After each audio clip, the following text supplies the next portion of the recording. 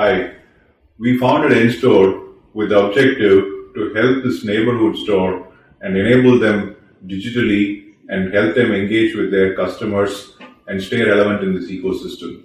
And during the pandemic, the use case got validated as more and more small stores wanted to go online and engage with their customers.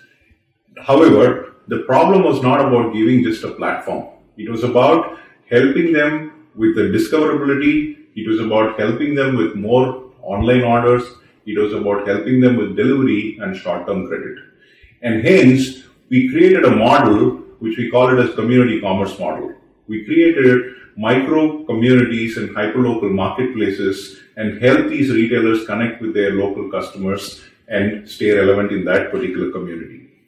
When we heard about ONDC being launched and it's a democratic platform being launched in this country, we are super excited to be part of this ecosystem because this actually resonated with the thought process that we had in mind as to how it should be. It is not about replacing the retail stores. It is about including them in this commerce that got us super excited.